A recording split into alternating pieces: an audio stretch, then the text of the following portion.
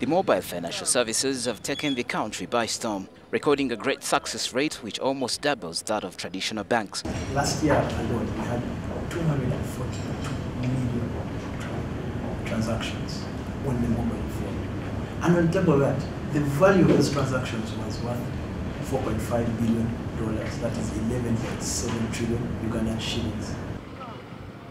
Based on this growth, the platform has brought on board more than just telecommunication companies, with now local innovative businesses making attempts to leverage on this big subscriber base. One of the players is Imara Mobile, which is a local SME planning to break the big telecoms dominancy of the sector through smart card-based mobile transaction.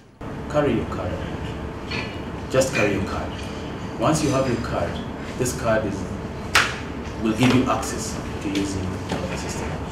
This card helps you to be able to allow the transaction to be complete. Once you use this card, wherever you shall go, your mobile phone will be used to actually confirm.